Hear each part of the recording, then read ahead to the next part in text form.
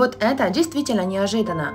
Кристина Арбакайте после юбилея ее мамы Аллы Пугачевой выдвинула условия для возвращения в Россию. Кристина Арбакайте так надеялась на мамину поддержку, но тут мама Алла Пугачева уже ничем не сможет помочь. Как сообщают крупные телеграм-каналы, Вчера в российском шоу-бизнесе произошел переполох между Кристиной Арбакайте и продюсером Виктором Дробышем.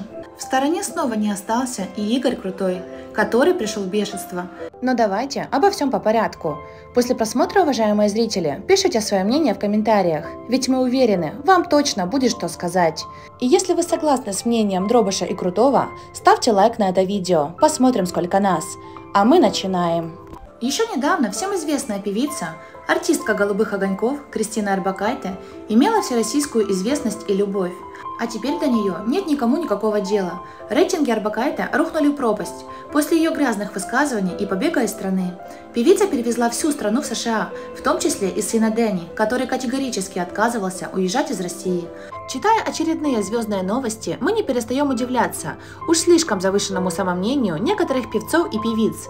Так, например, Кристина Арбакайте, которая уже больше двух лет не только умудряется сидеть на двух стульях, не объявляя свою гражданскую позицию, жить в Америке, а зарабатывать в России, так она еще и считает допустимым ставить россиянам и свои условия. И вот на днях стало известно, что несмотря на весьма странную позицию своей матери, Кристина Арбакайте не намерена отказываться от гастролей по нашей необъятной стране. И это понятно, ведь те гонорары, которые наследница Пугачевой получает за свои концерты перед русскоговорящими американцами, существенно ниже, чем ее гонорары здесь, в России. Наша страна для нее – это основная площадка для заработка тех миллионов, к которым она привыкла. Это подтверждается еще и тем, что во время недавнего посещения нашей страны Арбакайте, не моргнув глазом, ответила журналистам, что она, оказывается, вообще никуда не уезжала, что, видимо, должно было подтвердить ее лояльность. Поэтому она ждет и рассмотрит любые творческие предложения. Но есть одно «но». Но при этом дочь Пугачевой не готова лететь в нашу страну на любых условиях. Как заявила недавно концертный директор певицы, у Арбакайта есть ряд требований, при соблюдении которых она готова дать концерт и порадовать своих российских поклонников своим вокалом. Вот что об этом пишут в СМИ. Так, например, концертный директор Ольга Оркина, беседе с журналистами, рассекретила, каких условий и какого гостеприимства ждет Арбакайта от тех, кто захочет заказать ее выступление. Ну, во-первых, эта сумма равна 5 миллионам рублей. Во-вторых, певица хочет обеспечения полной конфиденциальности на время приезда, а также получения охраны. Еще один пункт касается комфортабельных условий. Логистика и обеспечение комфортного перелета тоже ложится на плечи заказчика.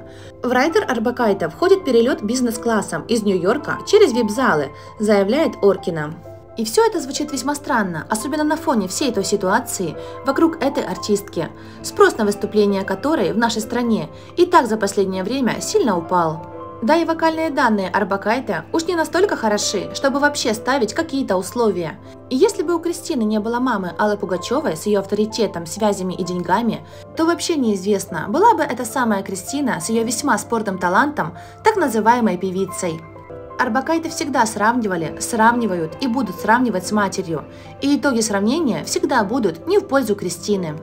Но несмотря ни на что, Кристина всегда уверена в себе, этого у нее не отнять. И судя по таким явно завышенным требованиям, исходящим от Арбакайте, она явно считает себя гениальной артисткой, без которой русский народ просто не сможет прожить даже сейчас. Как дополняет свою речь концертный директор Арбакайте, пребывание этой артистки в России должно проходить под девизом «Все самое лучшее, богатое и красивое для Арбакайте, для нее». И тут становится интересно, почему это Кристина и ее команда думают, что организаторы концерта в России обязательно будут выстраиваться в длинные очереди, чтобы пригласить великую певицу Арбакайте на свои площадки. Напомним, что ранее Кристина Арбакайте заявила, что все должны ставить памятники Пугачева и Вайкуле за то, что они держали целую страну и кормили всю Россию. Она призвала всех уехать из страны, а оставшихся назвала напуганными и не имеющих своего мнения. Такое поведение вызвало негатив у коллег со сцены и недоумение даже у друзей. Как сообщают крупные телеграм-каналы, Вчера в российском шоу-бизнесе произошел переполох между Кристиной Арбакайте и продюсером Виктором Дробышем. Дробыш сделал громкое заявление, в котором заявил, что больше никогда не будет проводить совместную работу с Арбакайте. Дробыш очень уважательный продюсер на российской эстраде, работающий со многими знаменитостями, но такой гадости он еще никогда не слышал. Ладно бы знаменитости друг с другом разругались, но кто так поступает по отношению к своей аудитории? Людям, которые тебя слушали, дали тебе славу, деньги и сделали твое имя, заявил гневно Дробыш.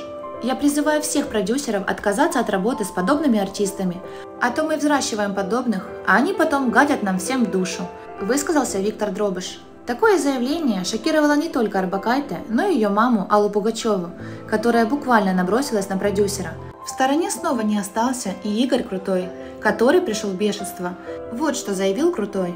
Ты, конечно, все можешь творить, как пожелаешь. Однако не забывай, что большую часть песен написал тебе я. И как я тебе уже говорил, что я запрещаю исполнять тебе мои песни, раз ты себе позволяешь лить такую грязь по отношению к слушателям. Сперва твоя мама Алла Пугачева, потом Лайма, а теперь и ты, Кристина. Да что с вами всеми происходит? Кто на вас так влияет? Чтобы ноги твоей не было в моем офисе и студии, я долго терпел и не верил слухам. Но когда такое позволяют говорить твои друзья, теперь уже бывшие, это ранит больнее всего.